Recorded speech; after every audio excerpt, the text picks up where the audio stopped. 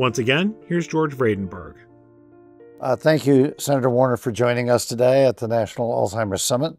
Uh, you've been such a champion in this space for so many years. Uh, we want to thank you for your support. Uh, and uh, we'd really like to get your views on where we are today and where we are moving forward. So I'd, let's just start with why does Alzheimer's get the kind of bipartisan support uh, that it does in Congress? Because it is the case that virtually everything that's done in Alzheimer's is bipartisan. Absolutely. And first of all, George, thank you.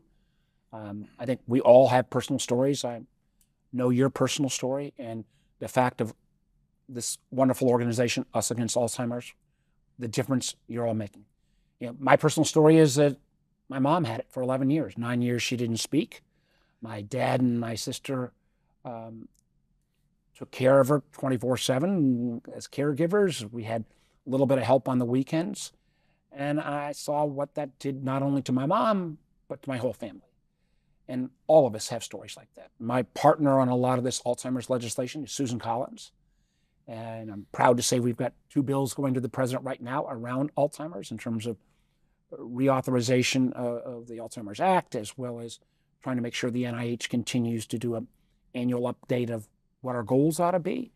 Um, and I think I remember Susan talking about her dad. So this this notion, Alzheimer's doesn't know Democrat, Republican, doesn't know liberal, conservative, uh, and it is it is a human crisis. But as I'm sure we'll get into, it, it is also a financial crisis to our government if we can't grapple with this hugely devastating disease.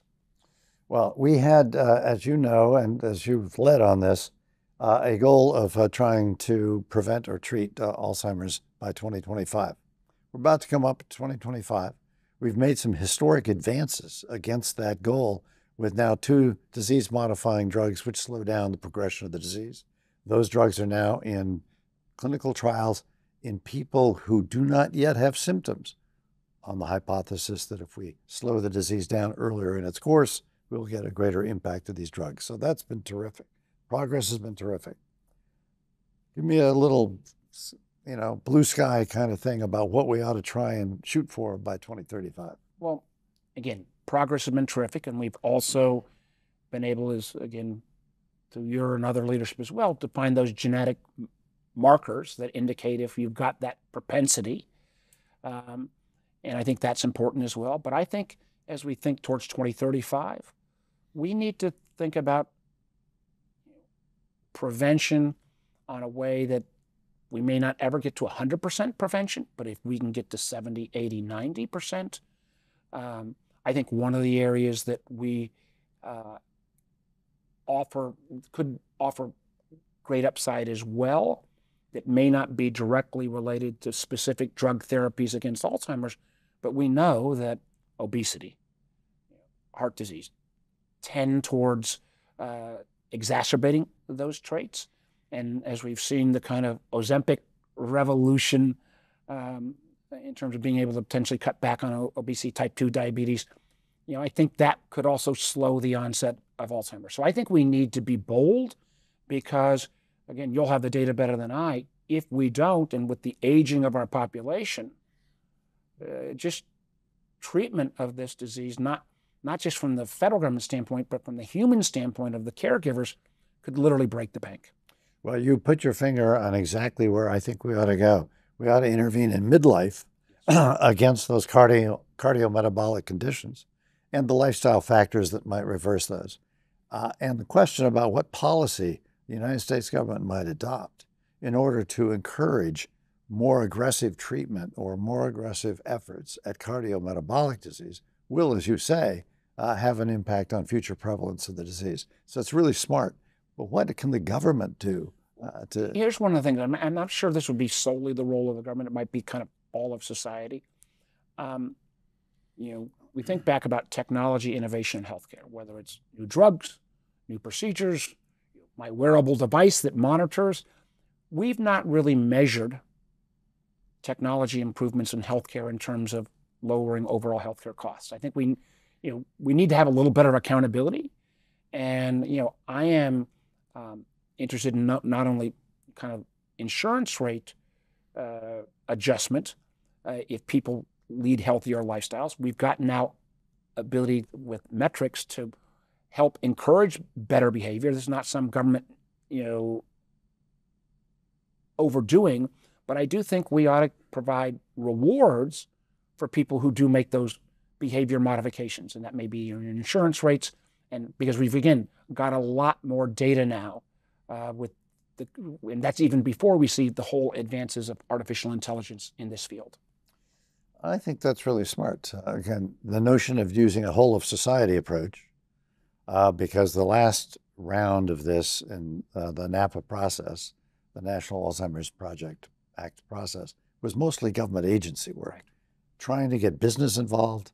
Uh, we have a business collaboration effort on how to increase the brain health of employees, mm-hmm. both for anticipating, uh, as you say, these cardiometabolic conditions uh, which may in fact reduce future prevalence, but also to encourage brain resilience, because one of the factors that actually will encourage improved brain performance is socialization at work. Your best friend is at work, you come to work, you do better. And some companies are now beginning to encourage their employees to get more active on school boards and more active in local community activities because they know that that kind of capacity for socialization redounds to the capacity of employees to work together at work. Absolutely. I think that is uh, dead on. I also think I'm maybe I'm sounding my age and a little old school. Um, you know, there are some jobs that may work better remote, but I think the vast majority of us do better in a setting where we have to interact in person uh, with uh, others. And I do think that socialization process we see time and again is so critical. Uh, so you mentioned the burden on a family, not just on the individual with dementia. Indeed, at some stage, the individual with dementia really does not understand right. uh, the world around them. Uh, but you described a family where there are at least two caregivers. So we have what we think maybe 50 million people in the world with dementia. That means 100 million people who are probably caregivers around the world, disproportionately impacted on low income populations, disproportionately impacting um, uh, uh, women, uh, both as caregivers and mm-hmm. as victims. Uh, and so I'm curious as to what we might do. And you have been leader in this in thinking through how to improve the caregiving workforce and the caregiving burden. Well, we, we again, my family, I was able to support my family financially through that burden. I mean, my sister quit quit work full time. Um, I think we need to do more. I think there's indications, for example, there's some s- small ball um, or mid-sized legislation we're looking at to say a, a caregiver, if they leave work to provide uh, care, could still contribute to their IRA even though they're not employed. And if then if they go back to work, they might be able to make it up. I think we need to um, look at you know, Medicare reimbursement in terms of caregivers. Uh, in, around Alzheimer's. I think this is a field, um, and again, it's probably what brought most of the thousands of people who are watching this right now at your conference um, to the table because they've lived firsthand and seen that experience. This ought to be something we should lean into, and and there's some governmental policies, but I also think again, greater collaboration with the business sector, uh, where the level of, of, of more generous leave, um, is something all ought to be con- all ought to be considered. This is not something we're going to solve by a government program alone. Uh, it is interesting because we other businesses we talk to uh, describe brain health in terms not just of Alzheimer's or cardiometabolic conditions and the like, but also mental health. Uh, so that in fact, greater investments and more frequent availability of mental health professionals to the employee base is proving to cause a reduction in overall health costs in business because people who don't have mental health and stress uh, and who deal with those problems are actually better performers at work. So it turns out that it has a redounding effect. Double bottom line. And double you know, and again, this is there was huge, horrible things that came out of COVID. The one good thing that came out of COVID was I believe we moved telehealth forward a decade. And one of the areas where I think, um, at least the, the data I've seen in terms of the outcomes on mental health, um, this may be a technique that where telehealth can again be used much more actively. Um, those kind of consult sessions, can be done over Zoom, can be done, you know, with some inpatient, but a lot more telehealth. We've got to make sure that we don't roll back uh, those improvements. We also got to make sure that we um, recognize that getting broadband to the, the balance of all Americans, you know, which we've promised in the infrastructure bill, becomes a reality because even some communities still can't even access the te- telehealth uh, capabilities, which inc- include obviously mental health. Are state licensure laws getting in the in the way of telehealth, and is there an ability to set some minimal standards of some sort, or uh, I, we made we that had traditionally been a problem, and then about medical professionals going beyond their state borders, we waived a lot of that uh, during COVID, and you know, it needs to be reviewed. A lot of that expires at the end of this calendar year. I think the vast majority of, of those. Uh, uh, bureaucracy movements ought to be maintained um, in, in, terms of telehealth. And again, uh, I think on the particularly on the mental health side, uh, the the data I've seen has been very very positive. Um, you, um, uh, I lost my thought here because you mentioned something that really struck me uh, as a very smart idea, but I'll find it somewhere in the brain and come back to it. Um, but let me uh, uh, ask you uh, about Medicare solvency. You mentioned not just the social costs, the impact on families um, of the disease, but also the cost. Right. Cost to government, cost to families. So I'm curious, as you, as a person who clearly is very focused on the solvency of Medicare and figuring out what we ought to do to make sure Medicare is there for a very long time. Absolutely. How, how do we deal with this? Medicare and Social Security are probably the two most successful government programs we've had in this country. And when I think back to Social Security, when it first put in, was put in place, um, President Roosevelt promised we'd give folks a check if they hit 65, and at that point, average life expectancy in the 30s was about 57. So um, a good deal. It, it was a good deal, uh, and we've got to main, we've got to be honest, and we've got to, particularly to younger people. A lot of people don't believe Social Security and Medicare will be there for them. Um, I think we need to honor those commitments. That will mean um, we've got to look on the revenue side uh, to make sure they're, they are appropriately funded.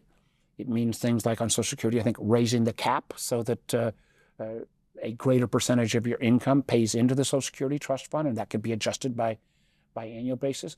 And we do, uh, not to try to lower cost for the sake of cost lowering itself, uh, but we need to try to find find savings. And I continue to believe that the promises of technology and healthcare, uh, there's not a procedure, drug, or device that isn't promising savings. We've not captured those on a on a systemic way, and I think going forward as we go into the debate next year about the tax code, um, thinking about you know actually putting pushing technology, but making sure that we recoup some savings for the long term health of Medicare is terribly important, and in and you know the same case on Social Security. The striking thing about the investments you're making in uh, in Alzheimer's investments is a, a, claim that made by Roy Blunt, not a claim, but a, an assertion. He calculated out what the increase in healthcare costs due to Alzheimer's were occurring in Medicare and Medicaid, and what that trajectory is based upon the aging of the population. Uh, and he saw that it was going to be equal to roughly the Defense Department by the early 2040s. And he said, We're investing a pittance against trying to save money against this. One of the challenges here is how to assure that if you make earlier interventions, earlier and earlier interventions against this disease, the harder it is to justify those cost savings. You're going to get much more cost savings, but how do we track them? How do we have the discipline to make sure that what we're doing today to reduce the costs uh, of this disease through earlier intervention is a cost that increases now, but we can assure that we can track the cost reductions. And, th- and that is that is a challenge. I mean, um, the congressional scorekeeper, that congressional budget office, uh, doesn't do a great job on on tracking these savings.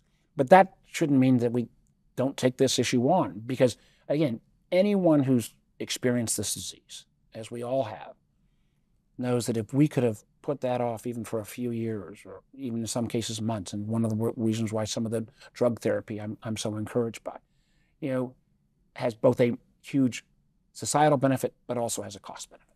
Yeah. One last question. Uh, the thing I remembered uh, was the the mention of possibly extending family leave, uh, so that in fact people who have to step out of the workforce uh, in order to take care of a parent, not just a child, uh, can get some sort of benefit and assistance from the government. I know that was part of Build Back Better.